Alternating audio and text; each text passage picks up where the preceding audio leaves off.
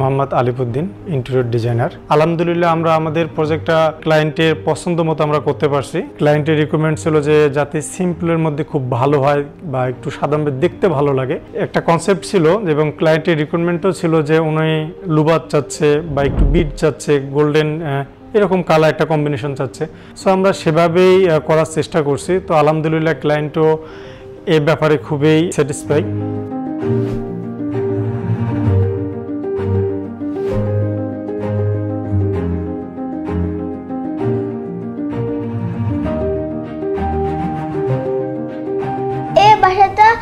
অনেক বড়।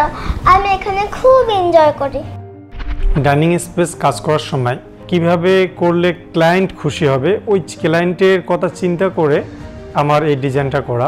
ক্লায়েন্ট আমাকে বলছিল যে প্রাইভেসি মেনটেন করে। এটাকে কীভাবে আলাদা করা যায়? আমি যদি এখানে মাঝখানে পর্দার একটা অপশন রাখি, সেক্ষেত্রে যখন বাসায় কোনো গেস্ট আসবে, পর্দাটা একপাশে সরাই দিয়ে পুরো স্পেসটা তারা তখন ইউজ করতে পারবে।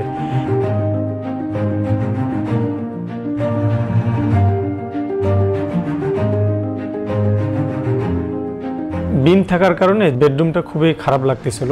এই বিমটাকে কীভাবে হাইড করা যায়, সেই চিন্তা করে আমরা সিলিং করছি ক্যাবিনেট ইউজ করছি এবং বেড হেড প্যানেল চাচ্ছিল উনি। সেক্ষেত্রে আমরা চারকোল ম্যাটেরিয়ালস ইউজ করছি। একপাশে আমরা ড্রেসিংয়ের স্পেস রাখছি, সেখানেও চারকোল রাখছি যাতে জিনিসটা দেখতে ভালো লাগে এবং মিরর রাখছি মিররের ব্যাক সাইডে আমরা লাইট পয়েন্ট রাখছি। টোটালি মাস্টার বেডটা করতে খুবই চ্যালেঞ্জিং ছিল, কম স্পেস ছিল মাছ বরাবর বিম ছিল।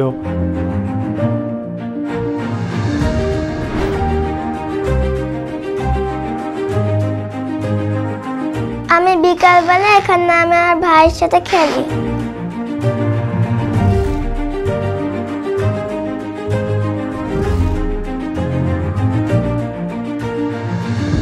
আমার এখানে বসে পড়ালেখা করতে খুব ভালো লাগে। আমি পড়াশোনা পরে এখানে টিভি দেখি আমার জায়গাটা খুব ভালো লাগে। এখানে অনেক আলো আর অনেক বাতাস।